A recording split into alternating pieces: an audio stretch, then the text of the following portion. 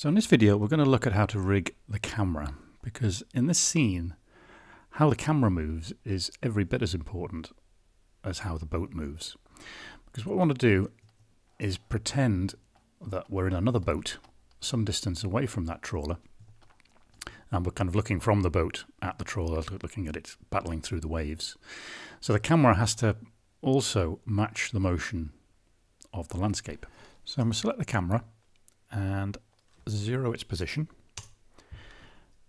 and then select the wave height and I'll just drop the wave out height back down to zero while we rig it up. So we can approach this in a very similar way to the boat. So first of all we need a locator. I'll just move that up in the scene and then we can name that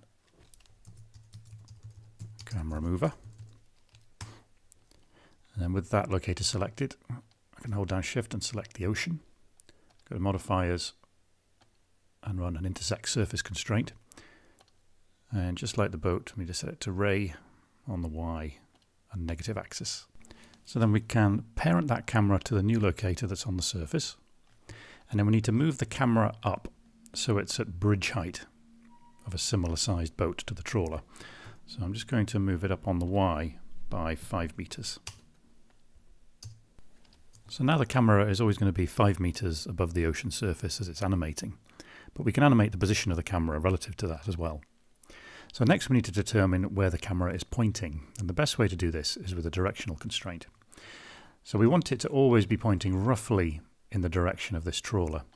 So I'm going to create another locator. I'm going to call this camera target. And let's move that so it's somewhere near the trawler. Again, we can animate the position of this when the time comes.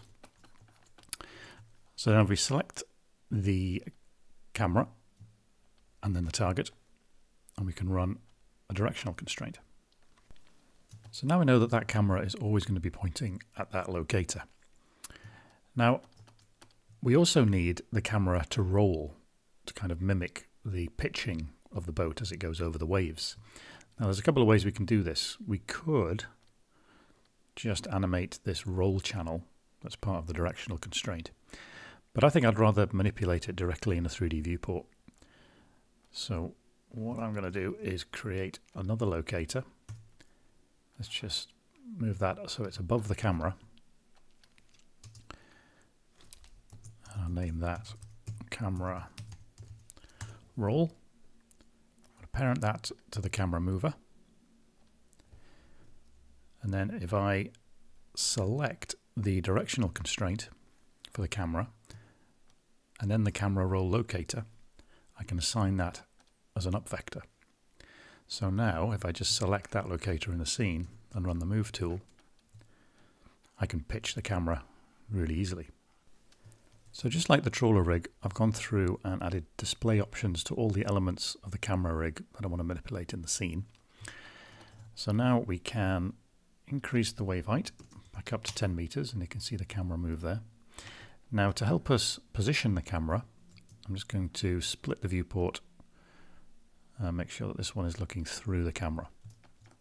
So now we can select the camera mover on the move tool and position camera at its starting point.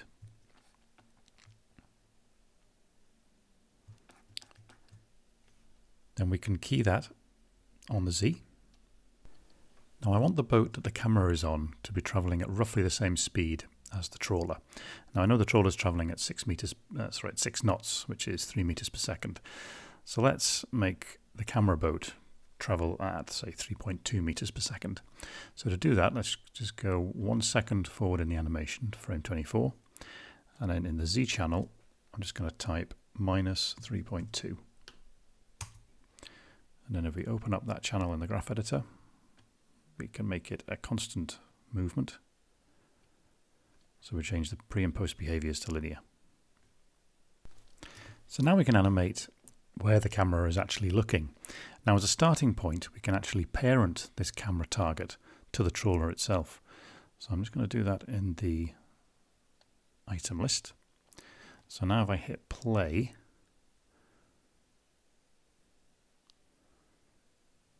the camera is following the trawler. But we don't want it, it to follow it, you know, or look at it in a very static way like that. We want this target to be moving around a little bit because the boat that the camera is on is going to be battered by the waves as well. And also, moving this target around would allow us to compose the shot more easily. So at frame zero, let's key the position channels for the target. W key, and I'm just going to move that target so the trawler is in a nicer position in the frame. And then just keep scrubbing through a certain number of frames and then make some subtle adjustments.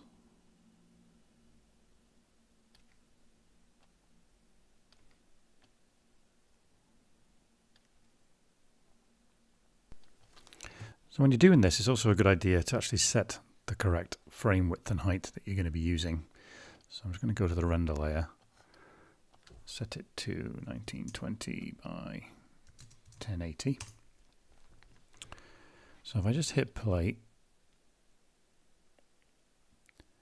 see we're getting that nice subtlety with that target position, but we're still not getting any kind of roll in the camera.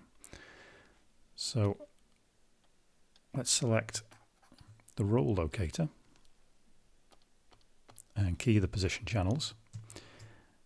And when we're animating this, it's going to be easier to actually look at the scene and where the camera is in relation to the actual waves. So let's scrub forward a little bit.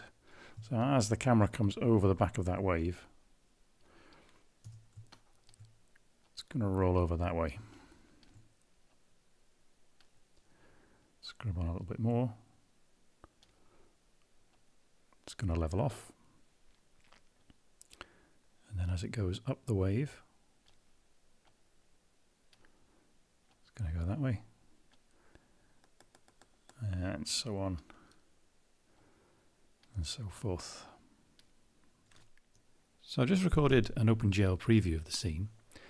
And as you can see, by thinking about how we're going to rig and animate the camera, we've managed to make the whole scenario much more believable.